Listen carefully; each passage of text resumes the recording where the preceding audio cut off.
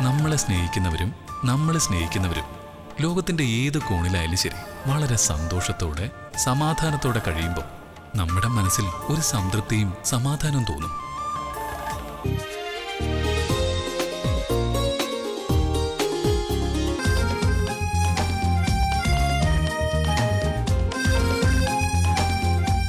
കാർമേഘങ്ങൾ ഒഴിഞ്ഞ പകലിന്റെ സൗന്ദര്യത്തിൽ വർണാഭമായ പുതിയ കഥാഗതിയുമായി നിങ്ങളുടെ പ്രിയ പരമ്പര.